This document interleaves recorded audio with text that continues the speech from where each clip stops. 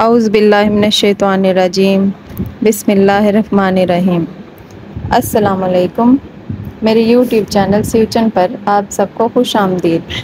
आज मैं सिखाऊँगी खड़े मसाले की भिंडी, जो बहुत ही आसान और बहुत मज़ेदार है।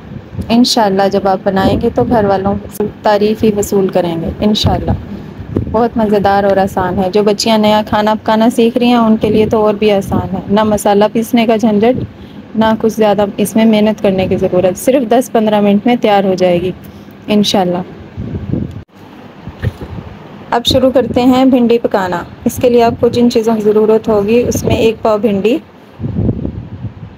एक पाव तीन बड़े प्याज कटे हुए, और हरा धनिया, बारीक इसको काट लें, और पाँच छः अदद हरी मिर्चें, तीन उनमें से मैंने साबत ही रखी हैं। और टमाटर, लहसुन, अदरक को बारीक काटा हुआ है, कलौजी, ज़ीरा और साबुत धनिया। एक एक चम्मच ले लें, छोटी टीस्पून। और गरम मसाला, हरी मिर्च। गरम मसाला, लाल मिर्च, नमक, काली मिर्च, हल्दी और थोड़ी सी मेथी ले लें। दो चम्मच छोटे टीस्पून लाल मिर्च, आधा चम्मच नमक। आधा चम्मच हल्दी, एक चम्मच पिसा धनिया, एक चम्मच गरम मसाला। इन सब चीज़ों को पहले से तैयार करके रख लें।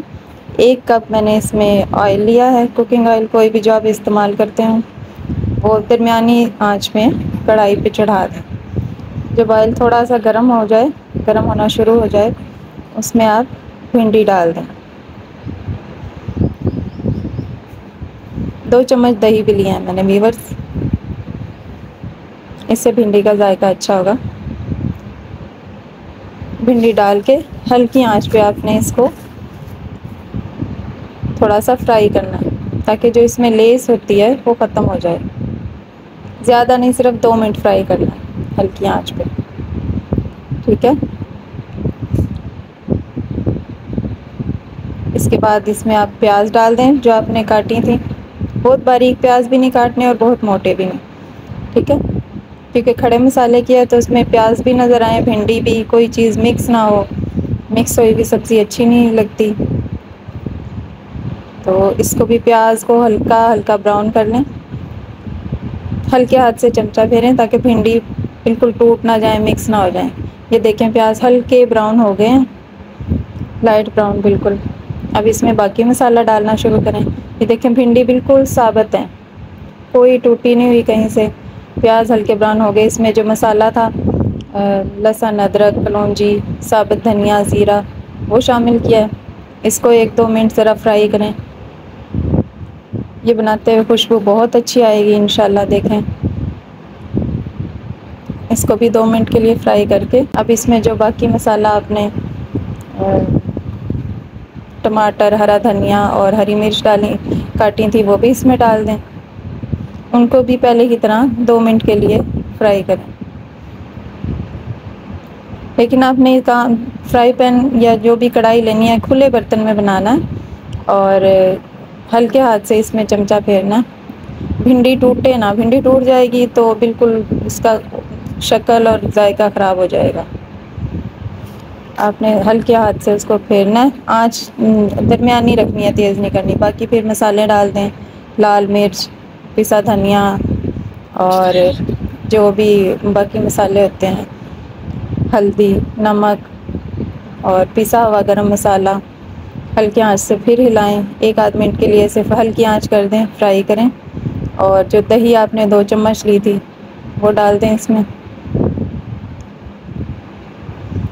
फिर से इसको दो मिनट के लिए, ताकि दही बिल्कुल घी छोड़ दे। अच्छी तरह फ्राई करें। पकने दें इसे थोड़ी देर के लिए। भिंडी टूटे ना, बस आपने ये ध्यान रखना। भिंडी टूटेगी तो सालन की शक्ल भी अच्छी नहीं रहेगी और जायका भी अच्छा नहीं होगा। और व्यूवर्स मेरा चैनल से सब्सक्राइब करें। लाइक करें। बेल आइकन का बटन दबाएँ। ये मैं फ़र्स्ट टाइम वीडियो बना रही हूँ। कोई इसमें गलती हो, कुछ हो तो इंशाल्लाह आगे भी आपको ऐसी वीडियो मिलती रहेंगी इन एक गिलास पानी डाल दें और इसको कवर कर दें इसके बाद। हल्की आँच पे कवर कर दें। कवर करने के बाद आपने इसमें कोई चमचा नहीं फेरना कुछ नहीं। इसको पाँच मिनट के लिए दम पे दें। जब घी ऑयल छोड़ दे आ, सालन तो थोड़ा सा भून लें। सालन तैयार है। इसको डिश आउट करें। इन बहुत मज़ेदार लगेगा। सबको बहुत पसंद आएगा। आपने मेरे चैनल को ज़रूर ज़रूर सब्सक्राइब करना है। बेल आइकन का बटन दबाएँ ताकि मेरी वीडियो आगे भी आप तक पहुँचती रहें। बहुत शुक्रिया। अल्लाह हाफिज़।